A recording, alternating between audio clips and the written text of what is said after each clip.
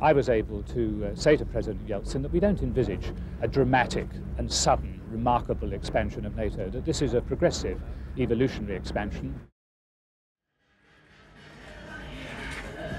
In the shadow of the Kremlin, distinguished national heroes and war veterans like General Beregovoy, the cosmonaut, and Mikhail Kalashnikov, inventor of the Kalashnikov submachine gun, weapon of war for governments and guerrillas alike.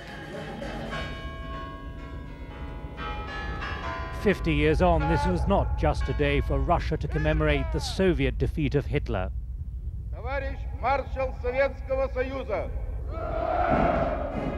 It was also a day of political anxiety, the rewriting of history, and some bitterness. Boris Yeltsin atop Lenin's mausoleum, the name subtly covered up by greenery. Many feet below him, other world leaders, including John Major and Bill Clinton. Conspicuous by their absence, President Mitterrand and Chancellor Kohl, choosing to arrive later.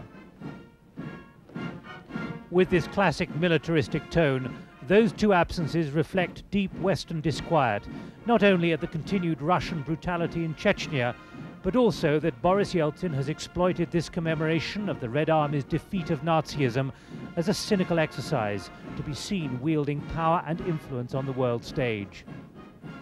But while these uniforms and medals paraded, large numbers of Russian veterans feel bitter and forgotten.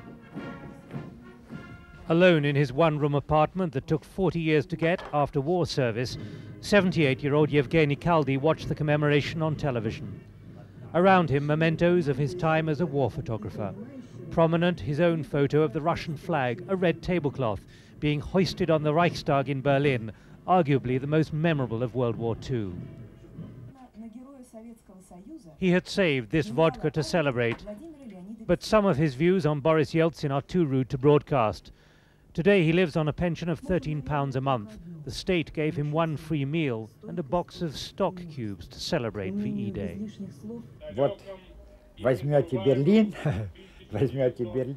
They said, after you take Berlin, that's it.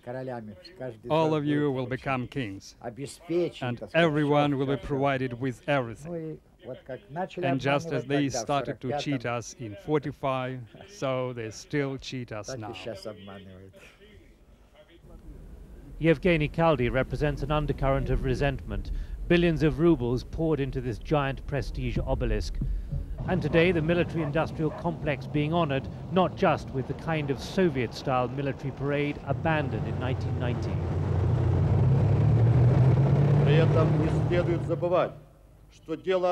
Defense Minister Grachov made a public pledge to modernize and strengthen Russia's armed forces because of continued regional armed conflicts like Chechnya. Moscow shook once again to the rumble of tanks, a display of armor and power that Western leaders, including John Major, refused to attend, not least because it included units just back from Chechnya. In ceremony, there was goodwill with coded warnings. Britain is looking for a complete system of partnerships in which partnership with Russia must be a central component. In private in the Kremlin, an exchange of gifts before the diplomatic gloves came off. John Major expressing deep concern to the Russian president about Chechnya. Boris Yeltsin then raising yet again Russia's fear of an enlarged NATO right up to Russia's border. The Russians are self-evidently worried about that. Uh, I was able to uh, say to President Yeltsin that we don't envisage a dramatic and sudden, remarkable expansion of NATO, that this is a progressive, evolutionary expansion.